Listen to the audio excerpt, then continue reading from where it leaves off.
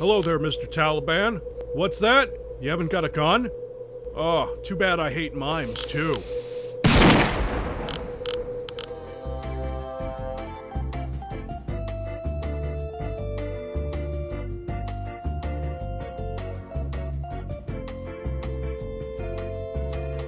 We're at the end of the week, kids. My personal favorite day at Postal 2, where I've got all the guns, I'm flush with ammo, nothing can touch me, and crack is $500. Except with the home dealer who always gives you a discount, but I already know how this goes.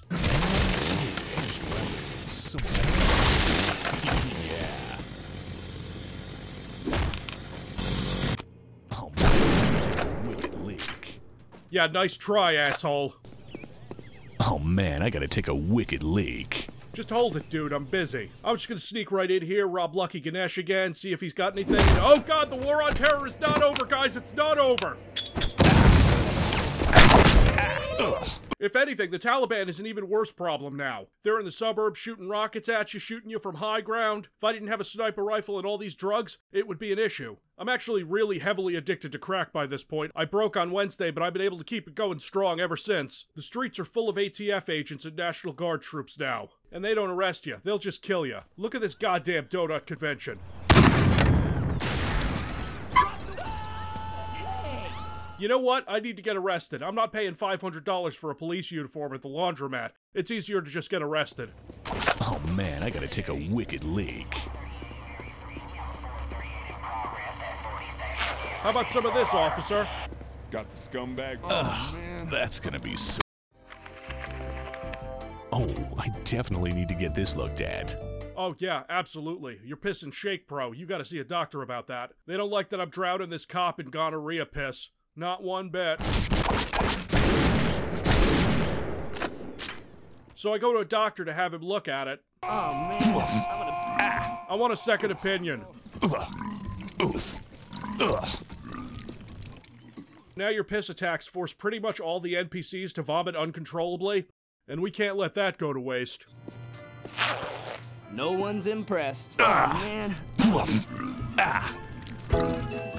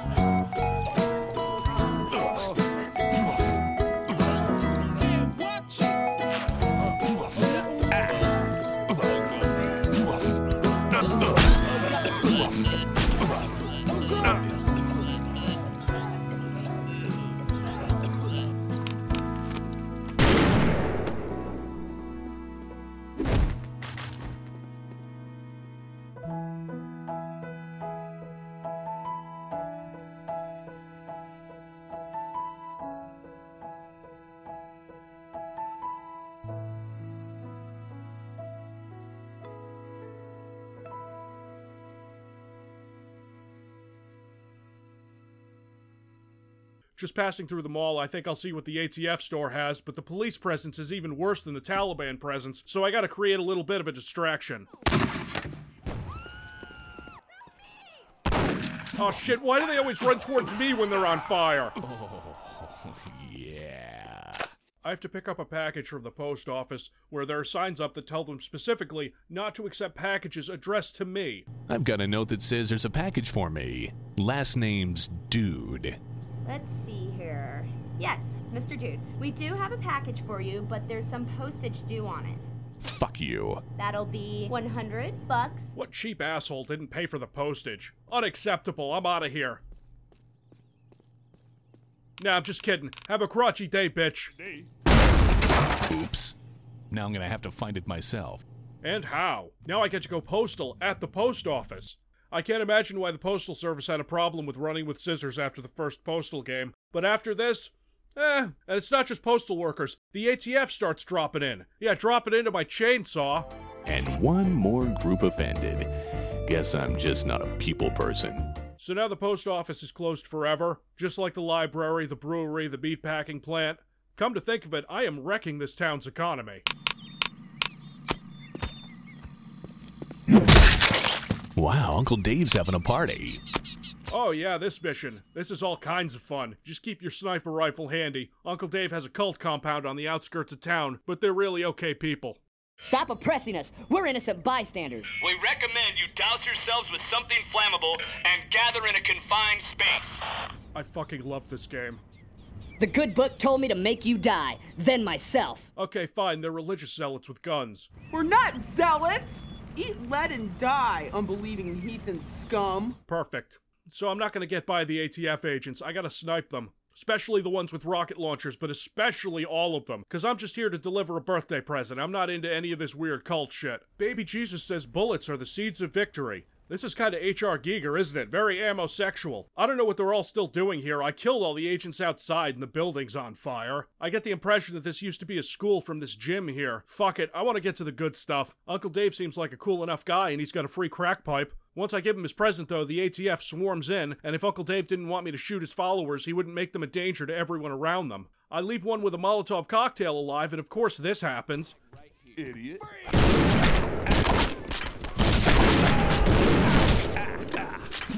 They have to be tossing these things in a building that's already on fire. You know, Friday is usually a bloodbath, but god damn.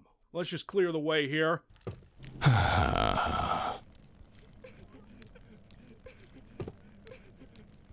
oh god, no. Oh god, oh my god, oh please god, no. Hey, I think that's the first crash of the run. That's really good for Postal 2. While I love the shit out of this game, it does have some stability issues. Not like it did in the old days, but yeah.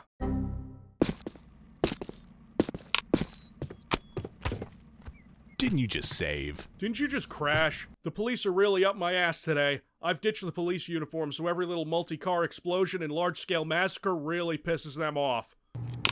You think it takes three cops to arrest me? It takes way more than three cops. Stop! Get down on the ground, asshole! You know what? This is getting a little too serious. I'm gonna lay low for a minute, just calm down, smoke some crack, wait for this to blow over. This can't be good for me, but I feel great. One mission left, guys, at the junkyard. Hey Chico, I need an alternator for an 87 to fuck you. I'm not gonna wait for this to go bad. I'm just gonna take him out and obviously not pay him. Now, as soon as you find an alternator, the junkyard dogs start bothering you, but I have enough dog treats for all of them.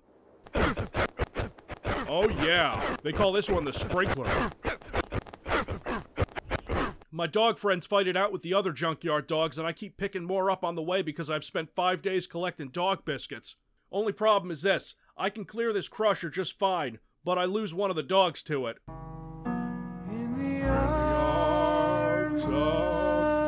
Oh my god, who the fuck is writing these puns? Katie, I hope they cut your fucking. Yeah, I lose one dog to this crusher and then I lose another one on the loading screen. But good god, it's the apocalypse. Joe Lieberman done fucked us over again. If you'd like to know why it's the apocalypse, well, I don't know, it just is. How the fuck else do you end a game? With a cutscene? Normally, I'd expect a fancy cinematic to explain such a crucial story element. No way, because shit has now really hit the fan. Cats are raining down from the sky, everyone and their mother has an assault rifle and a bad attitude. You look at anyone funny and they'll murder you straight up. So basically, the NPCs are playing this game like I have been. Now, to end the game, you have to return to the dude's trailer. But I have some unfinished business here in paradise, let me tell you. I'm not just gonna run back home to my wife and drown my sorrows in goat milk. Uh-uh. This town has spent the last five days fucking me like the chicken in pink flamingos. And the postal dude cannot abide that. This is where we truly and shamelessly go motherfucking postal. First stop is the bank, which I've already robbed today, and all their guards have respawned, but not the money. Not that it matters, I can't buy any more crack. Nobody's dealing, and whenever I approach them, they all treat me like I murdered them several times in a past life. Hi. Hi there. You! That's fair.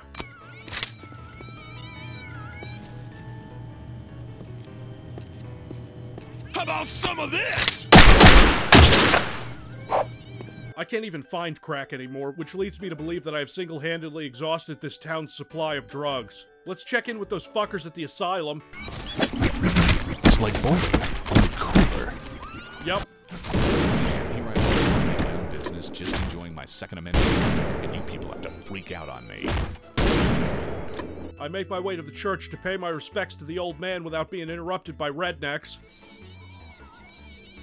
Which reminds me, I have to go to the brewery and pay my respects to the rednecks.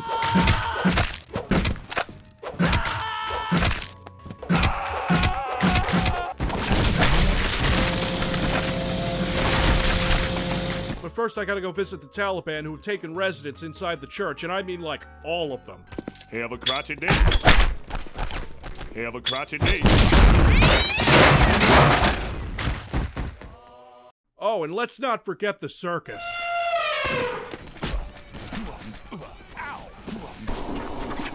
So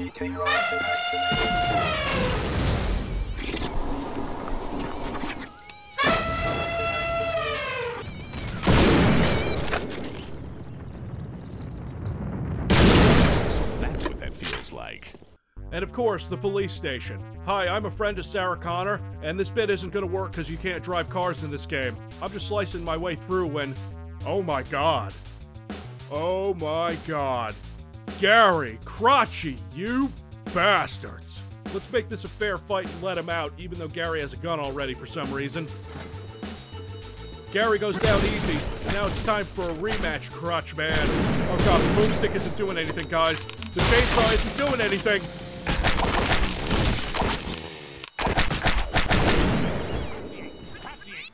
You can take Krotchy. Best two out of three, ball sack. Let's go.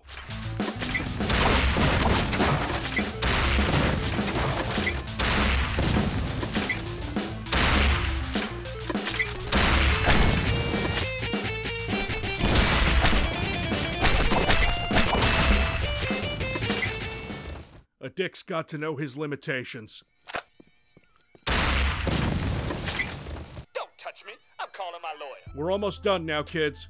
I was a little curious to see what I missed in that little tunnel under Lucky Ganesh, you know, the one where the hellhounds are. I still have a few dog biscuits, so I can check it out. The dog biscuits distract them, but they don't become friendly, so there's nothing down here I don't already have. That's fine.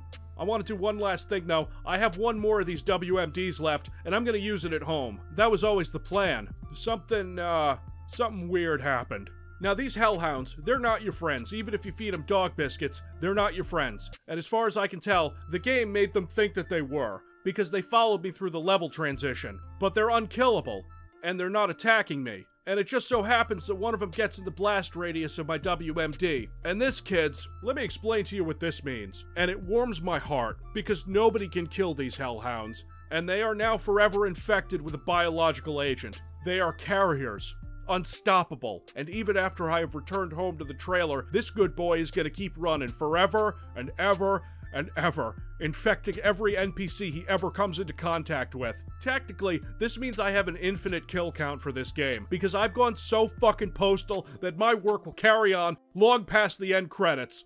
This town is well and truly fucked. This right here, kids, is why I love this game because no matter how many times I play it, something surprises me. From what can be accomplished in this beautiful mess, this timeless classic, this unmatched experiment in open world insanity. Postal 2, in my mind, is a bona fide classic. It belongs in museums, because while this kind of game can be imitated, you just can't catch lightning in a bottle again, because even the bugs and glitches add to the experience. They are just another brushstroke in this masterpiece of design. I may never play a game again that lets me say, yeah, I did this insane thing, but next time I boot it up, something weirder's gonna happen. Something more tasteless. Something more unfathomable.